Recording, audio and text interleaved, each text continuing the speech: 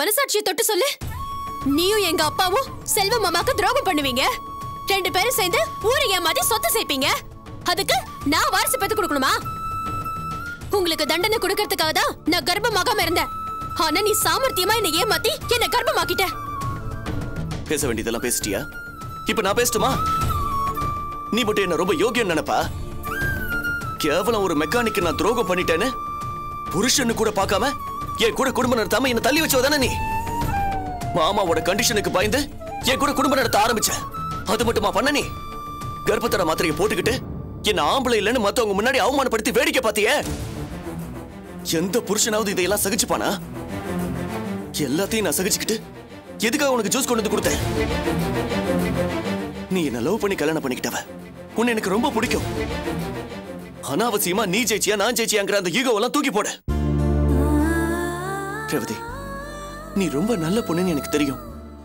நான் அந்த செல்வத்துக்கு துரோகம் பண்ணிட்டேன்னு என் மேல கோவமே தவிர தனிப்பட்ட வேற எந்த கோவமும் கிடையாது. நம்ம குழந்தையோட நல்லதுக்காக தான் சொல்றேன். ஜூஸ குடி.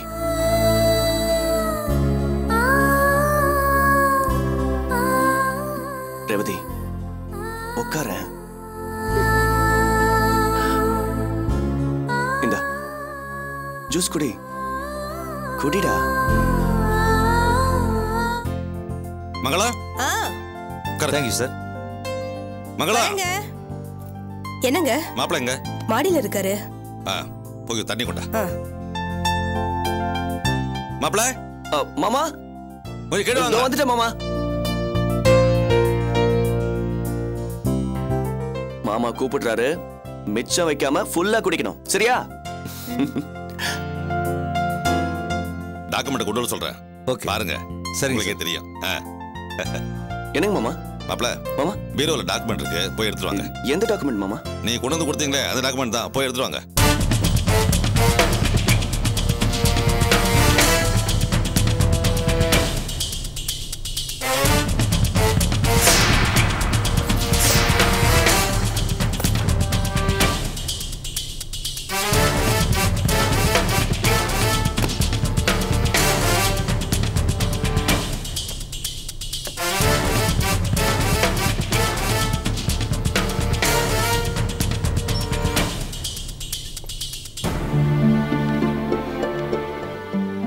நீங்க சொன்ன மாதிரியே முடிச்சிடலாம் தண்ணி குடிங்க. தேங்க்யூமா இந்தாங்க மாமா. நீங்க கேட்ட டாக்குமெண்ட் என்ன டாக்குமெண்ட் மாப்ள அது உனக்கு எதுக்கு தேவையில்லாத வேலை? உன் பொண்ணுங்க? மாடியில தாங்க இருக்கா? இப்பதான் மாப்பிள ஜூஸ் கொண்டு போய் கொடுத்தாரு. மாப்பிள்ள ஜூஸ் கொடுத்தாருல? அவ ஒழுங்கா குடிச்சாலா என்ன இதுல போய் பாரு. பிசினஸ் பேசிட்டு இருக்கும்போது குறுக்க வந்து பேசிட்டு இருக்க. பா. போடி. இந்தாங்க பாருங்க. சார். மாமா எல்லாம் கரெக்டா இருக்கு மாமா. மாப்பிள அவர் ப்ரமோட்டர் அவர் பார்த்து என்ன எதுன்னு சொல்லட்டும். ஏன் அவசரப்படுறீங்க?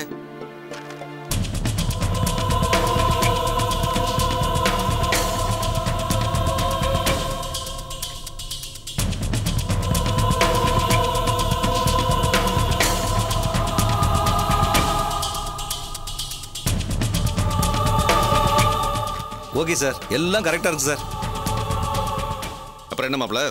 இன்னைக்கு ரெஜிஸ்ட்ரேஷன் வச்சுக்கலாம்ல? மாமா இன்னைக்கு ரெஜிஸ்ட்ரேஷனா ஆமா சார் பக்காவா பத்திரம்லாம் இருக்குது. இன்னைக்கே ரிஜிஸ்ட்ரேஷன் முடிச்சிட்டோம்னா மேற்கொண்டு எங்க வேலையெல்லாம் பாக்குறதுக்கு சௌரியமா இருக்கும்ல. என்ன மாமா திடீர்னு இப்படி ரெஜிஸ்ட்ரேஷன் சொன்னா எப்படி?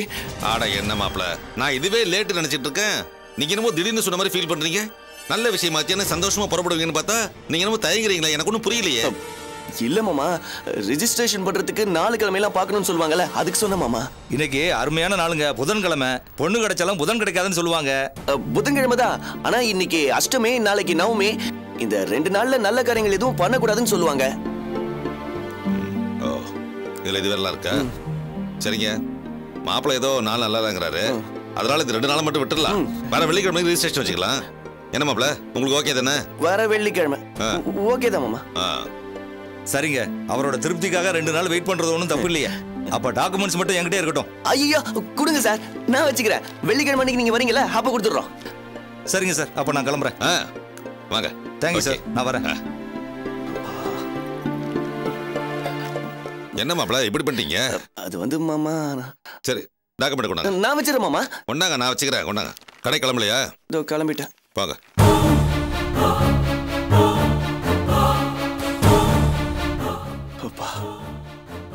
சமாளிச்சிட்டோம். வெள்ளிக்கிழமை எப்படி சமாளிக்கிறது? ஐயோ. மிஸ்டர் சங்கரன் குடோன்ல புதுசா வந்திருக்க ஸ்டாக்லாம் கரெக்டா இருக்கா செக் பண்ணீங்களா? இஸ் இட் சேஃப் இன்னைக்கு காலையில கூட ஒரு தடவை குடோனுக்கு போய் எல்லாத்தையும் செக் பண்ண sir.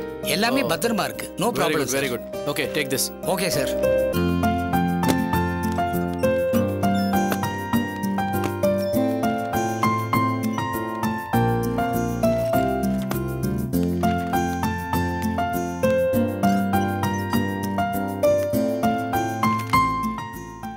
happen Kavya why so dull any problem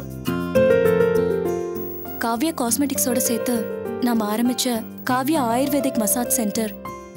நாம எதிர்பார்த்தபடி போல சரி அந்த மசாஜ் சென்டருக்காக தாய்லாந்து கேரளாலேருந்து மசாஜ் எக்ஸ்பர்ட்ஸ் எல்லாம் வர வச்சது எல்லாமே வீணா போயிடுச்சு.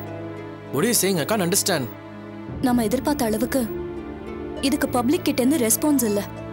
கஸ்டமர்ஸே வரதில்ல.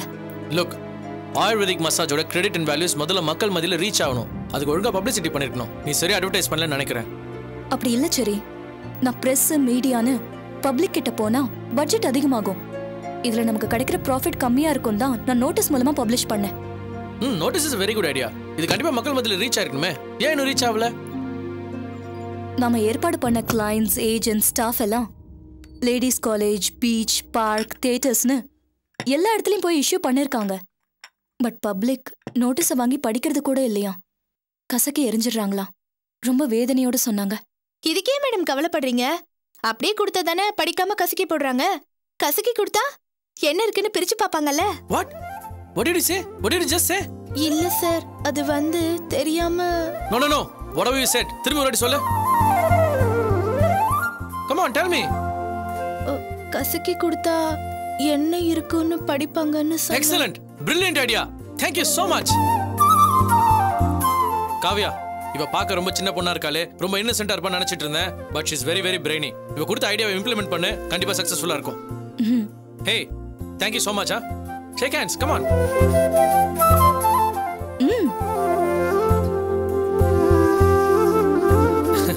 thank you very much thanks for the good idea keep it up இன்னைக்கு தான் சார் நீங்க என்கிட்ட சிரிச்சு பேசிருக்கீங்க. நீங்க சிரிக்கும் போது ரொம்ப அழகா இருக்கீங்க. தேங்க் யூ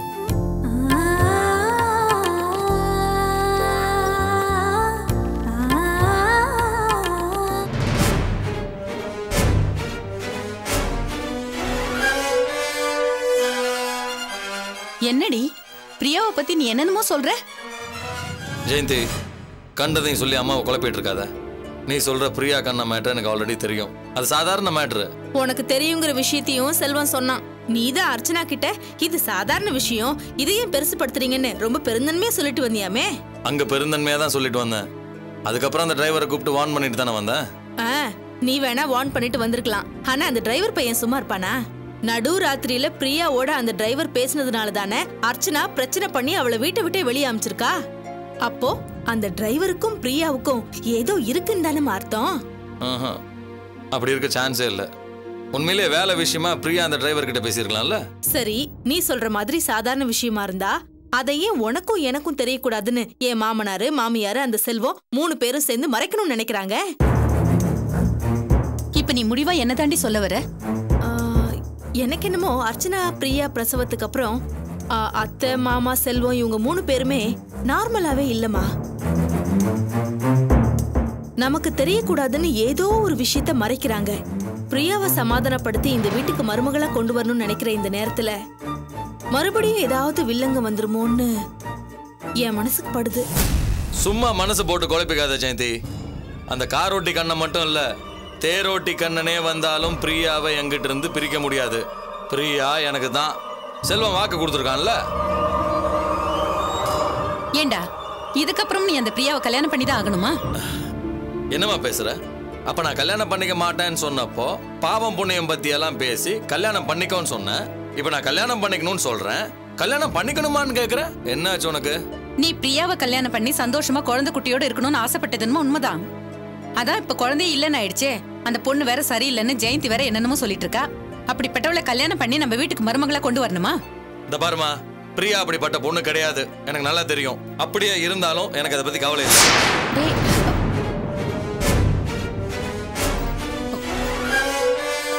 என்னடி? என்ன சொல்ற? ஆமா அவ மேல இருக்கிற காதல்னாலயோ அவளை கல்யாணம் பண்ணிக்கணுங்கிற வெறினாலயோ நான் சொல்லல. அவ கழுத்துல தாலியை கட்டி நம்ம வீட்டுக்கு கூட்டிட்டு வந்து அவளை அணு அணுவா சித்திரவதை பண்ணி நான் பட்ட அவமானத்துக்கு அவளை பழிதீக்கணும். அதான். ஐயே நீ இன்னும் மாறவே இல்லையாண்ணா? இன்னும் பழைய கோவத்திலே தான் இருக்கியா? இடையில நீ என்னமோ மாறிட்ட திருந்திட்டன்னு நான் நினைச்சுக்கிட்டு இருக்கேன். எல்லாம் வெளிவேஷம் நடிப்பு. பிரியா படுத்தின அவமானத்தை எல்லாம் சகிச்சுக்கிட்டு செல்வத்துக்கு உதவி செய்யற மாதிரி அவனுக்கு புது பிசினஸ் பண்றதுக்கு ஐடியா கொடுத்ததெல்லாம் எதுக்கு? செல்வத்துக்கிட்டையும் அவன் பொண்டாட்டிக்கிட்டையும் நல்ல பேர் எடுக்கணுங்கிறதுக்காக.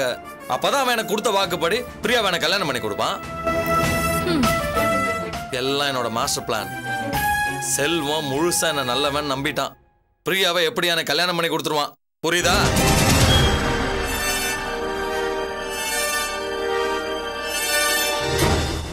போய் காஃபி போட்டு எடுத்துட்டு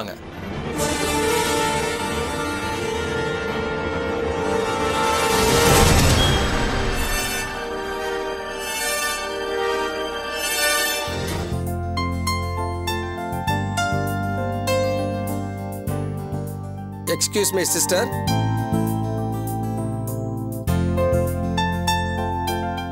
சிஸ்டர் என்ன? தீப்பெட்டி கொஞ்சம் தரீங்களா? நாலு ரூபாய் அஞ்சு ரூபாய் கொடுத்து சிகரெட் வாங்க முடியுது. தீப்பெட்டி வாங்க முடியலையா? தப்பா நினைக்காதீங்க சிஸ்டர் தீக்குச்சி தீந்து போச்சு. ஒரு நிமிஷம் இருங்க.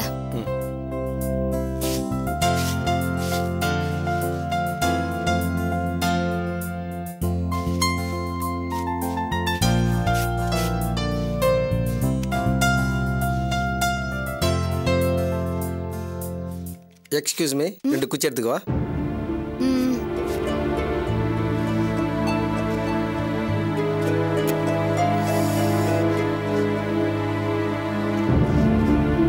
தேங்க்ஸ் சிஸ்டர் ம்.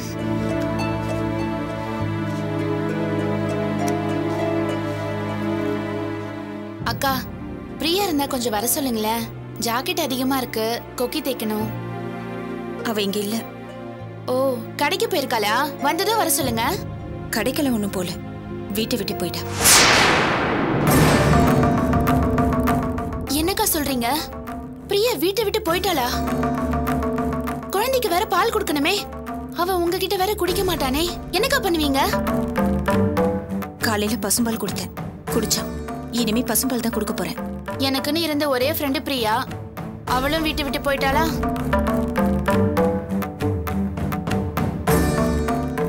டே கண்ணா விஷயம் தெரியுமா? என்னடா? பிரியா வீட்டை விட்டு போயிடுச்சான். என்னடா சொல்ற? ஆமாடா நேத்து நைட்டு பிரச்சனை ஆச்சுல அதனால தான் அந்த பொண்ணு வீட்டை விட்டு போயிடுச்சு போல இருக்கு. இல்லடா பிரியா அதனால விட்டுட்டு போயிருக்காது. அவங்க அக்கா தான் ஏதோ திட்டி அனுப்பியிருப்பாங்கன்னு தோணுது. சரி விடுறா. அது அவங்க வீட்டு பிரச்சனை. அக்கா தங்கச்சி விவகாரம். அதுக்கு நீ ஏன்டா டென்ஷன் ஆகுற என்னடா புரியாம பேசுற? அந்த பிரச்சனைக்கு காரணமே நான் தானடா. உன்னையும் பிரியாவையும் இதோட ரெண்டு மூணு தடவை சேர்ந்த மாதிரி பார்த்து பிரச்சனை பண்ணிட்டாங்க. உண்மையாவே உனக்கும் பிரியாவுக்கும் ஏதாவது டேய் வாய் முத கழுவுடா. பிரியா என் ஃப்ரெண்டுடா எல்லா ஃப்ரெண்ட்ஷிப்பும் கடைசியில காதல்ல தான்டா போய் முடியும். என்னடா லூசு மாதிரி நீ பேசிட்டு இருக்க? நான் தான் ஸ்வேதாவை லவ் பண்ணிட்டு இருக்கேன்ல. அவளதான் கல்யாணம் பண்ணிக்க போறேன்னு தெரியாதா? சரி சுவேதாவை கல்யாணம் பண்ணிக்கலாம். பிரியாவை சைடுல வச்சுக்கலாம்னு முடிவு பண்ணிட்டியா என்னவோ? அடச்சி வாய் முடு. நான் ஒன்னும் அப்படிப்பட்டவன் கிடையாது. சொந்த அக்காவே அப்படி பண்ணிட்டாங்களே. அவங்கள பார்த்து ஒரு நாலு வார்த்தை கேட்காம.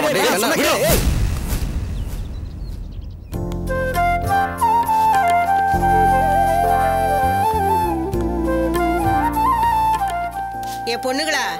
வீட்டை பத்திரமா பாத்துக்கங்க என்னடா? நான் இல்லைன்னு கேட்ட பப்பரப்பான்னு திறந்து போட்டுறாதீங்க.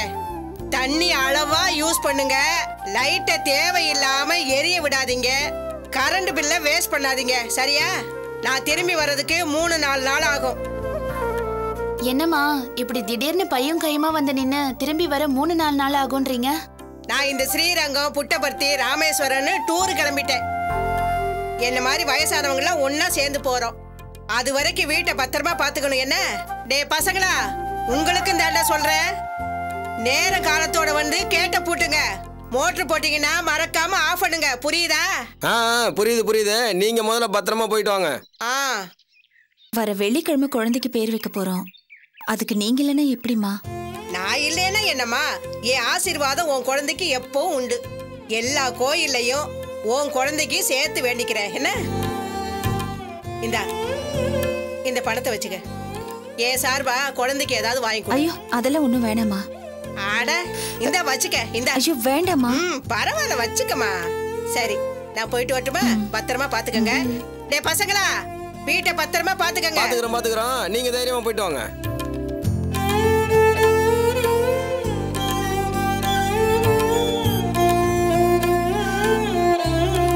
நில்லுங்க. டேய் சொன்னா கேளுடா. டேய் வேணாண்டா. டேய் நீங்க படுறது உங்களுக்கு நியாயமா இருக்கா இல்ல நல்லா இருக்கா? என்ன? எனக்கு ஒண்ணுமே புரியல. எனக்கு எல்லாம் புரிஞ்சு போச்சு. பிரியா பாவுங்க. ரொம்ப நல்ல பொண்ணு. ஏற்கனவே வாழ்க்கையில ஏமாற்றத்தையும் அவமானத்தையும் சோதனையும் சந்திச்சு எல்லாத்தையும் சகிச்சு வாழ்ந்துகிட்டு இருக்க பொண்ணுங்க. அனசுமா என்னையும் அவங்களையும் சம்மந்தப்படுத்தி பேசி வீட்டு விட்டு துரத்திட்டீங்களே. இத பாரு விஷயம் தெரியாம பேசாத. உன்னை பத்தியும் பிரியாவை பத்தியும் மத்தவங்க தப்பா பேசும்போது நான் தான் உனக்கு சாதகமா பேசினேன். அது மறந்து போச்சா உனக்கு? அது மத்தவங்களுக்காக பேசுனது எனக்கு நல்லா தெரியும். ஏன்னா சாதாரணமா அன்னைக்கு பிரியாவை கொண்டு வந்து இறக்கி விட்டதை பிரச்சனை பண்ணதே நீங்க தானே? ராத்திரி நீங்களே சப்போர்ட் பண்ணி பேசும்போது எனக்கு ஒரு டவுட் இருந்தது. ஆனா விடிஞ்சது ரிசல்ட் தெரிஞ்சு போச்சே? வெளியே நல்ல விதமா பேசி பிரியா வீட்டுக்குள்ள கூட்டிட்டு போய் திட்ட வேண்டியதை திட்டி வீட்டுக்கு அனுப்பிட்டீங்க. அப்படிதானே? இத பாரு பிரியா என்னோட தங்கச்சி. நான் அவளை சந்தேகப்படுவேன் திட்டுவேன் அடிப்பேன். அதுக்கு எனக்கு உரிமை இருக்கு. அவளோட மானம் மரியாதை கௌரவத்துக்கு நான் தானே பொறுப்பு? என்னங்க பேசுறீங்க? நான் ஆம்பளை மூணாவது மனுஷன். என் மேல சந்தேகப்பட்ட கூட பரவாயில்ல. பிரியா உங்க கூட பிறந்த தங்கச்சி. அவங்க மேல சந்தேகப்படுறீங்க? பிரியா என்கிட்ட வேலை விஷயமா தான் பேசுனது. அதை எப்படிங்க சந்தேகப்படலாம்? நீ ஒண்ணு எனக்கு புத்திமதி சொல்ல வேண்டிய அவசியம் இல்ல. உன் வேலை என்னமோ அதை பார்த்துட்டு போ. நான் என் வேலையை தாங்க பார்த்துட்டு இருக்கேன். நீங்க தான் உங்க வேலையை விட்டுட்டு என்னையும் அவங்களையும் சம்மந்தப்படுத்தி மனசை காயப்படுத்திட்டு இருக்கீங்க. நான் தெரியாம தான் கேக்குறேன். நானும் பிரியாவும் பேசுறத சந்தேகப்படுறீங்கல்ல? நீங்க வீட்டுல இல்லாதப்ப உங்க வீட்டுக்காரரும் பிரியாவும் எத்தனை நாள் தனியா இருந்திருக்காங்க? அப்ப உங்க வீட்டுக்காரர் மேல சந்தேகப்படலாமா? என்னடா சொன்ன? ஏன் புருஷனை தப்பா பேசுற.